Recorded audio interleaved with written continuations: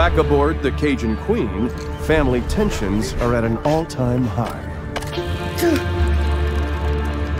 Kyle, what's wrong? Can you catch no reef? I can, but this one's like 20 feet. 15. Whatever. Can't do it. I'll come out there. I'll do it. The old man with one hand. Yeah, well, maybe you shouldn't be mutilating baby sharks. What you say? Nothing. Couldn't catch in a diaper. He telling me how to honor a shark. Believe that? I mean, I came down here thinking it'd be a good opportunity for some father-son bonding. But now, I don't know. I might start looking for another summer job. Hey, uh, not everybody made to be a fisherman. I just hope this whole university thing works out for him, yeah?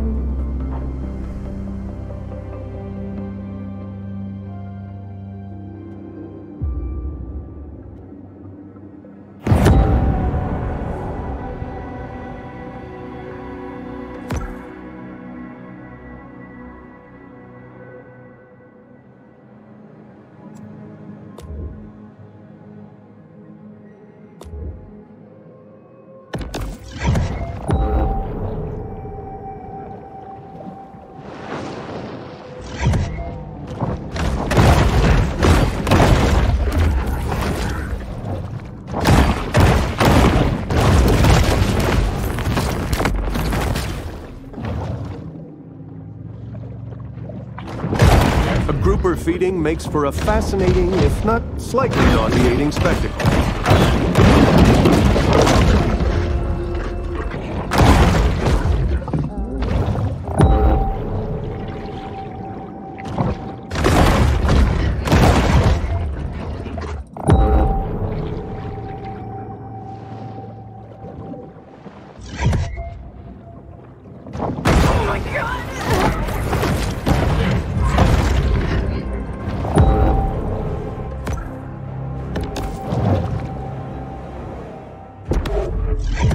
Sapphire Bay's famous Pier 1 provides visitors with plenty of skee ball, popcorn shrimp, and elegantly airbrushed t-shirts.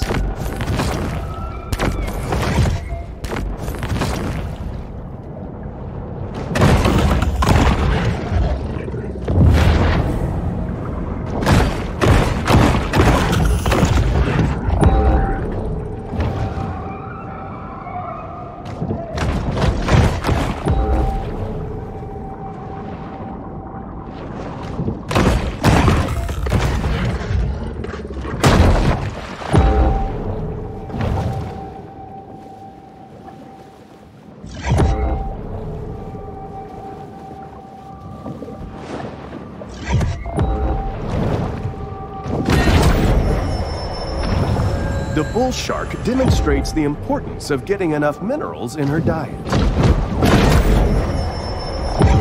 Protein caches like this one are a convenient and tasty way for sharks to increase their protein intake.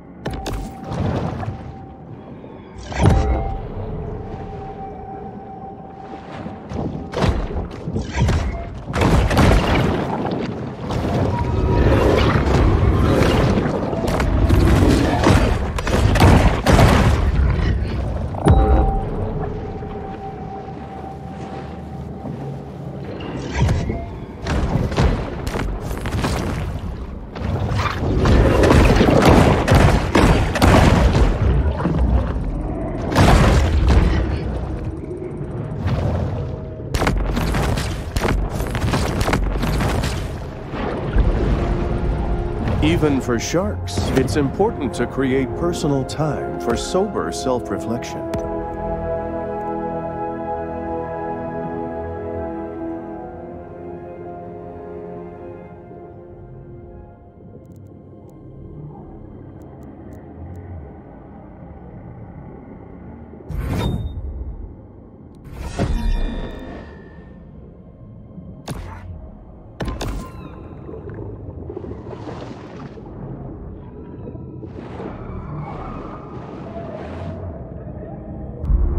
Identifying key disaster-related issues, commercial developers can be more informed as they continue recklessly building along the coast.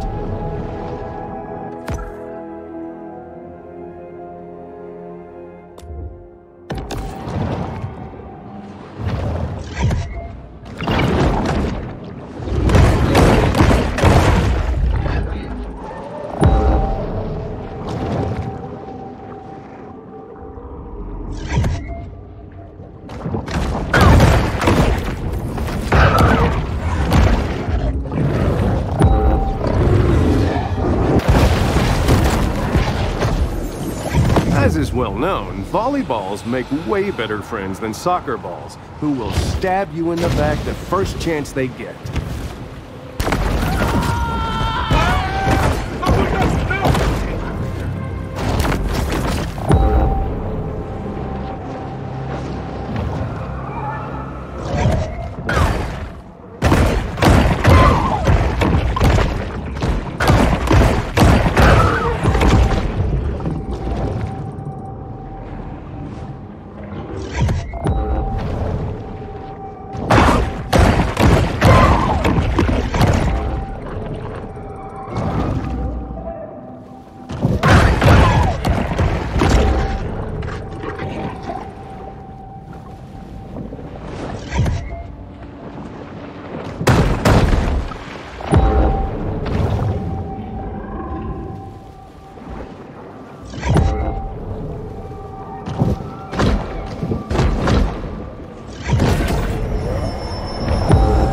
Shark is never one to pass up a fat fiesta.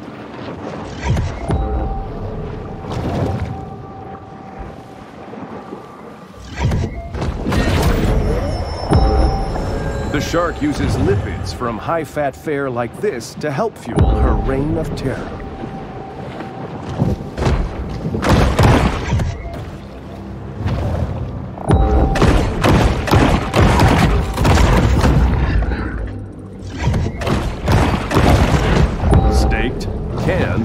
Salted, or raw, king mackerel remains a time-honored staple of American dinner tables.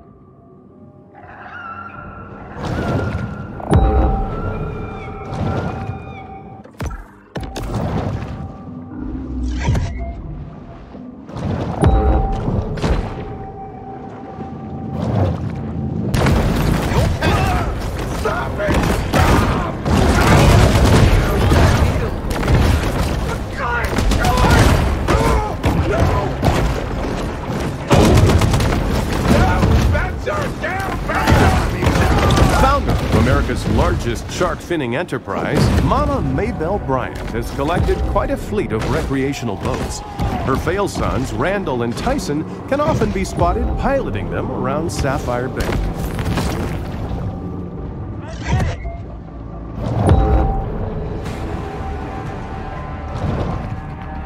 The hell are you? Bull sharks have a habit gobbling up anything that finds its way into the water.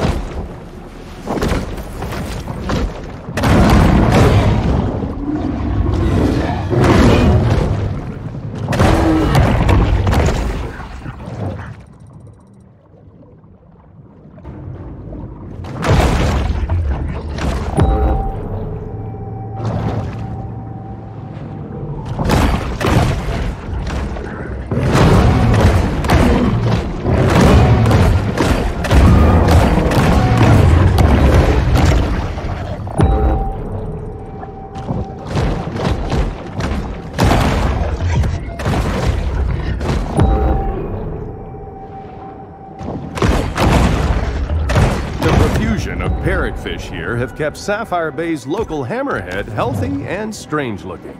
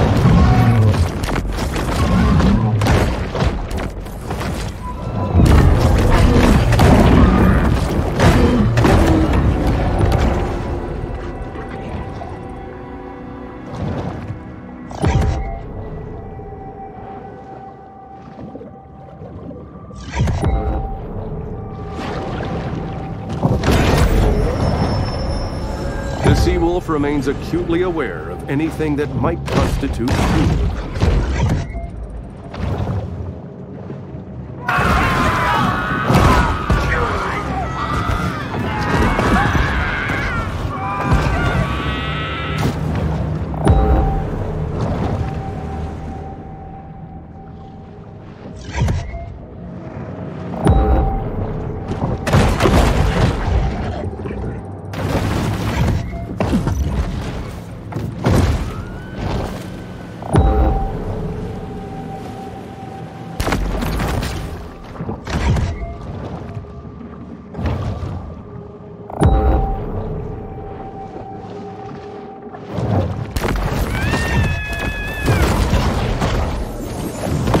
in boat ownership manifests itself in a variety of ways here in Port Clovis.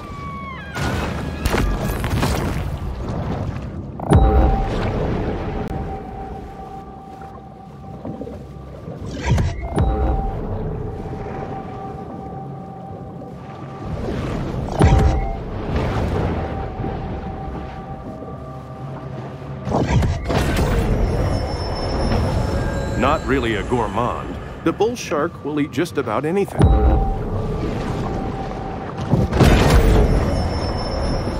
The bull shark is able to attain larger maximal sizes through selective feeding.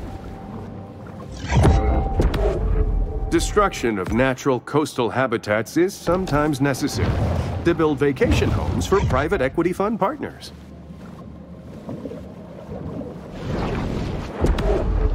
Beginning in 1946, WZUZ began broadcasting the country variety show Hillbilly Hayloft Hoedown live from Pier 1.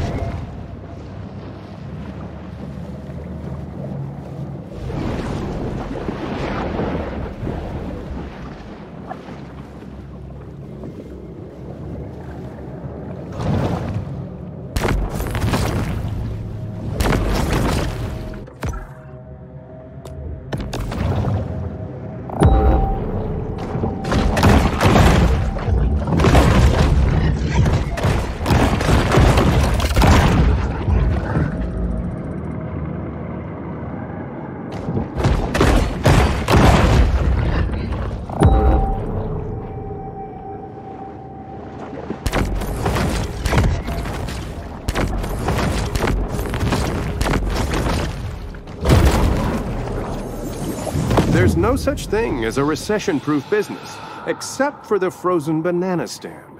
Whether boom or bust, the demand for reliable, quality frozen bananas remains a constant.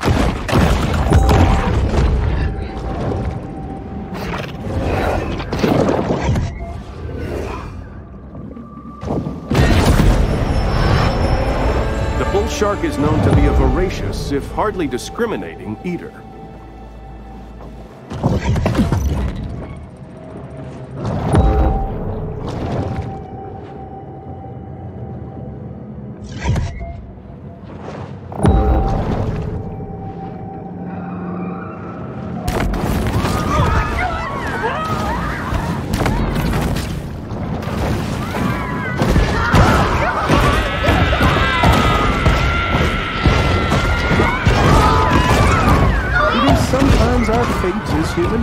To be relegated to edible meat.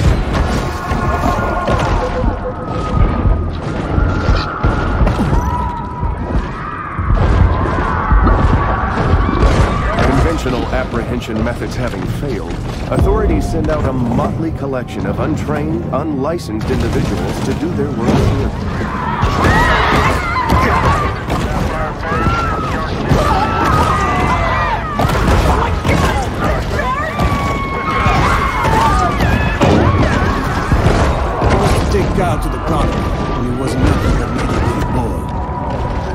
Fact that he was afraid of that Ferris wheel should have told me. He wasn't never gonna be no shark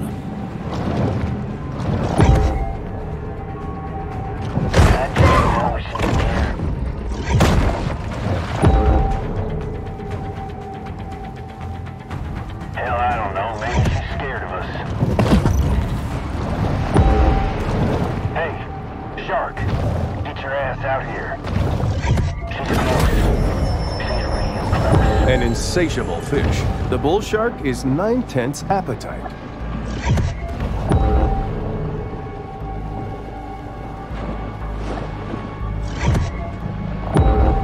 Come on now. The hunt is over, and there will be an inevitable rush on dollar drafts at Flamingo Joe's.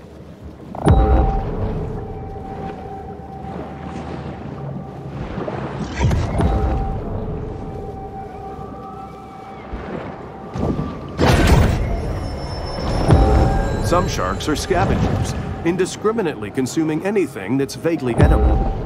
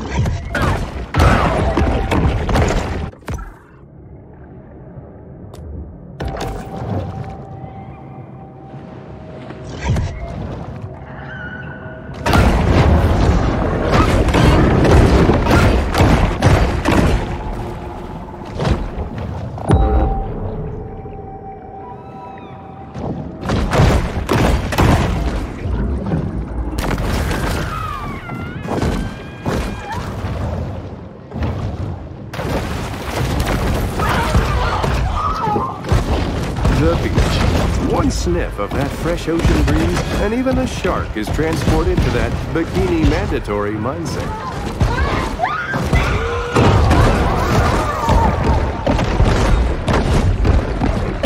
Many a child has run away to the sea with a head full of romantic notions of dynamiting sharks for a living.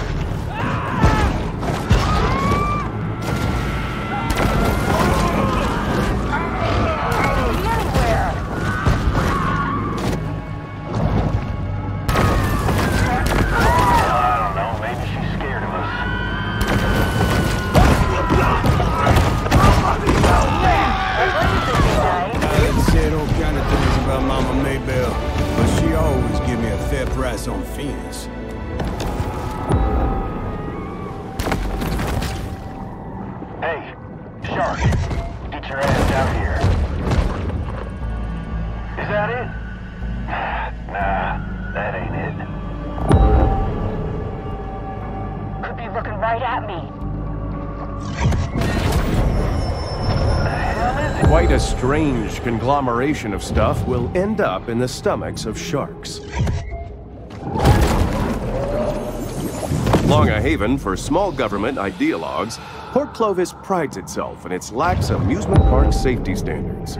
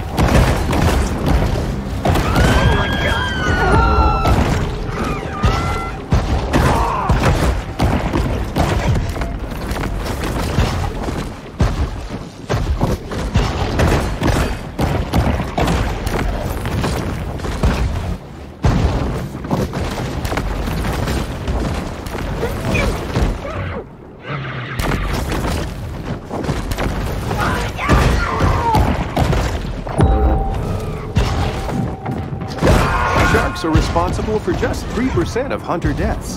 Drugs, alcohol, and poor firearm handling account for the rest.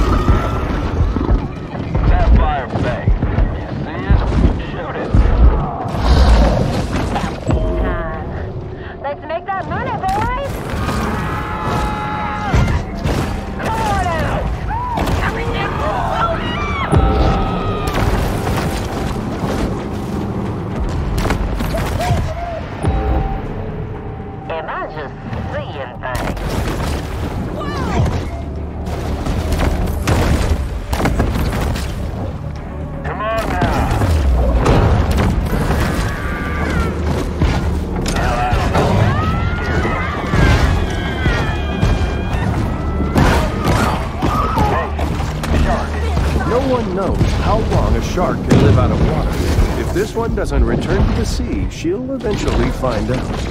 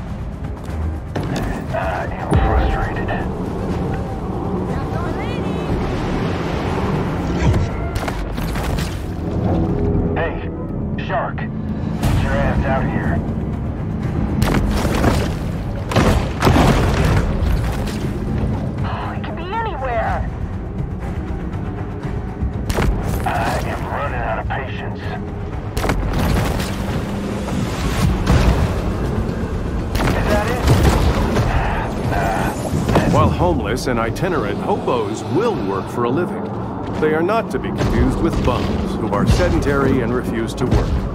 Like my son Joe.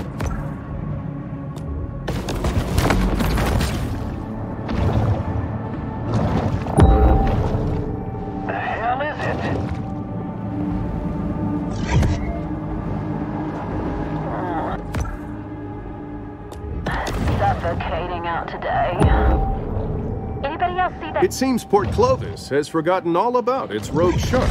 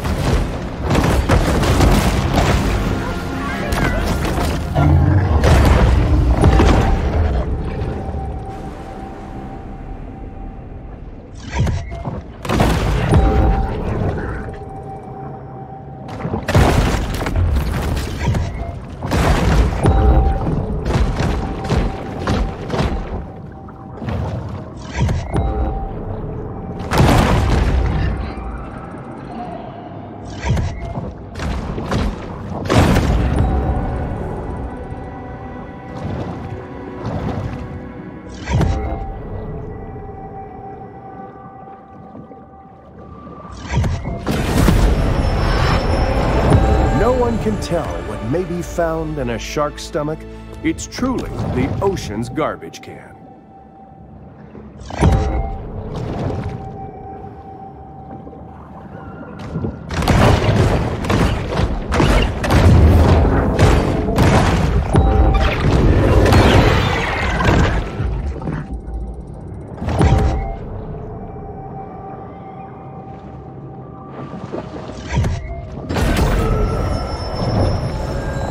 Appetite of this shark is nearly insatiable.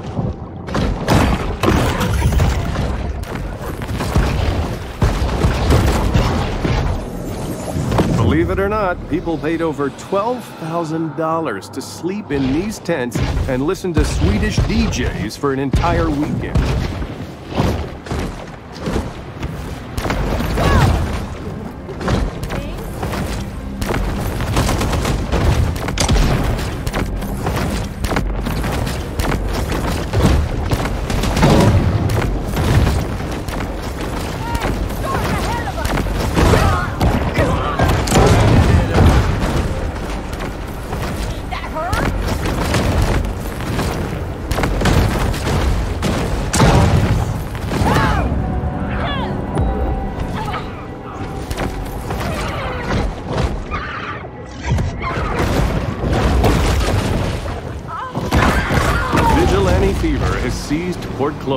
Making it dangerous for anything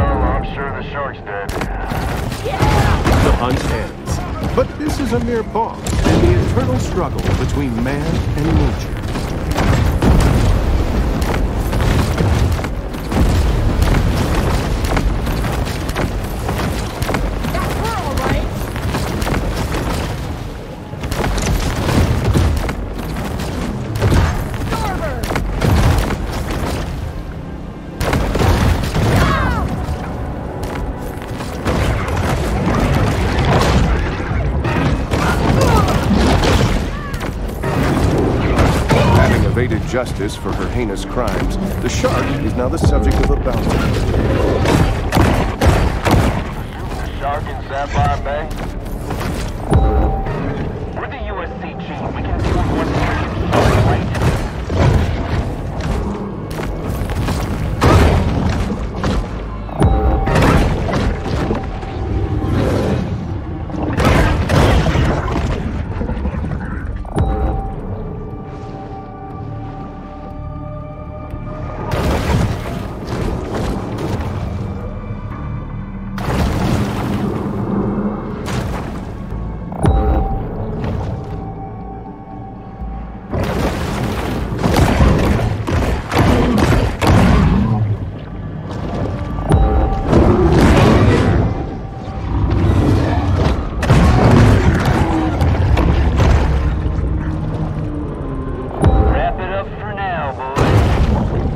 It's another unsuccessful shark hunt for the people of Port Clovis.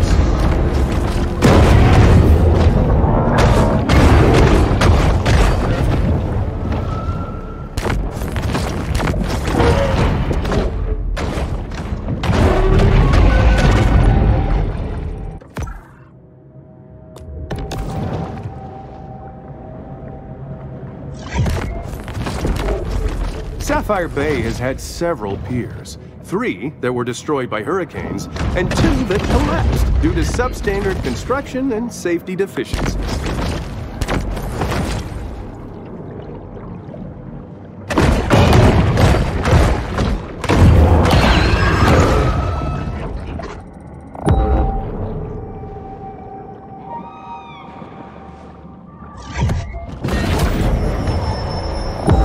In the kill or be killed world of the sea, performance-enhancing mutagens provide benefits that could mean the difference between life and death. Traveling around, we are constantly reminded of how man's intrusion has disrupted the fragile equilibrium of the marine world.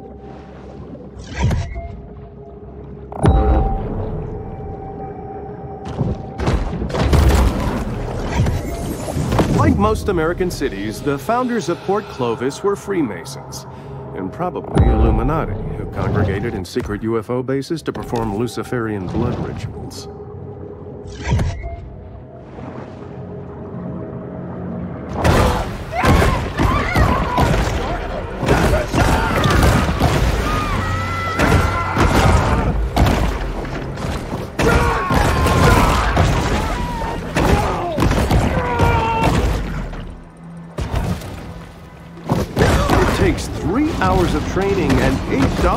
To become a licensed shark hunter. Very few bothers with this formality.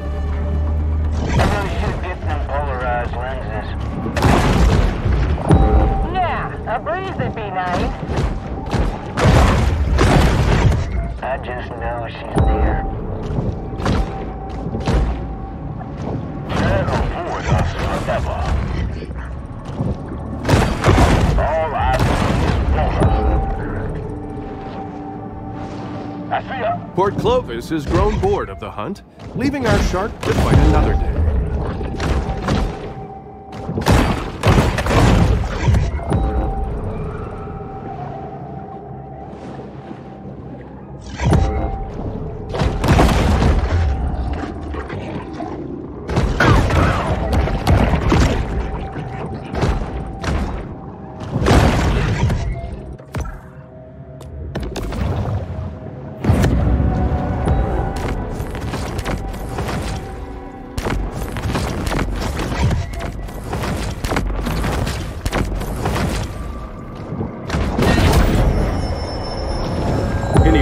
Delved into the stomach contents of a shark is acutely aware that they'll eat just about anything.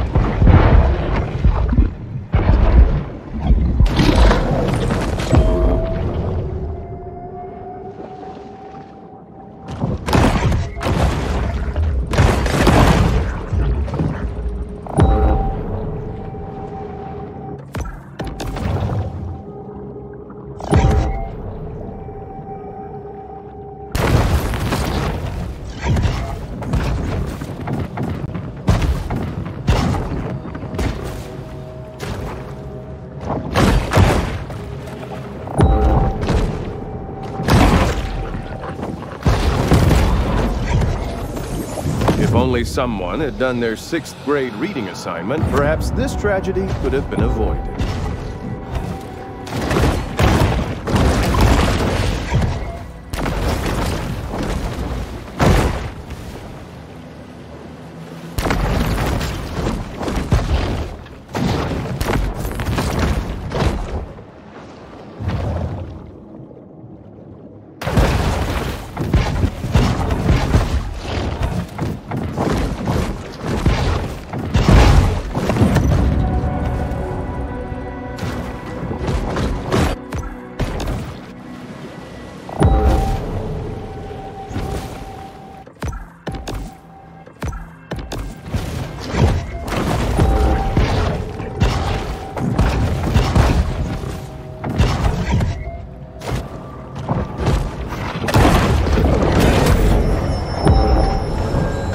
Is a sort of super scavenger, completely lacking in what may be called dietary discrimination.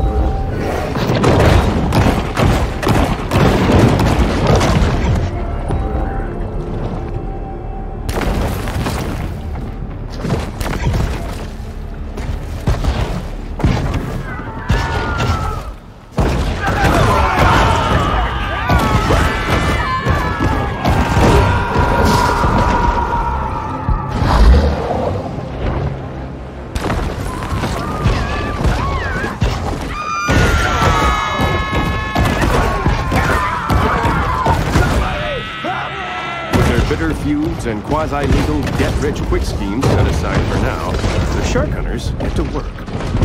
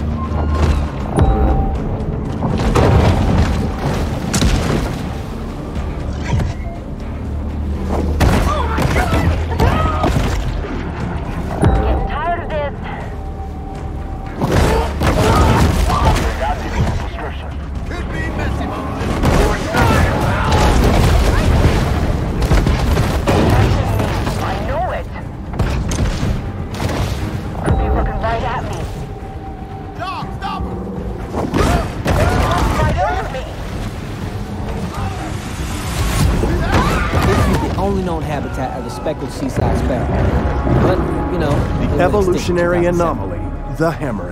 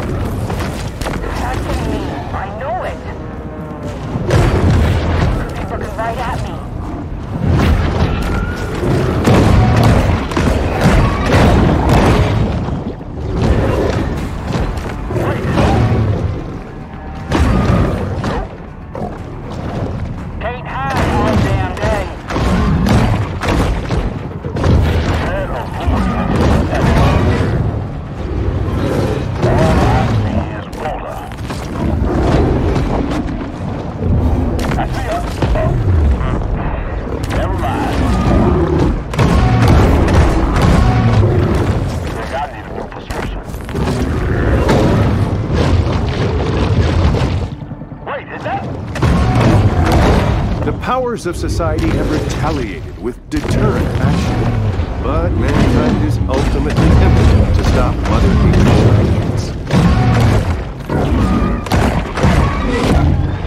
The bull shark triumphs, overcoming her opponent's clearly superior depth perception.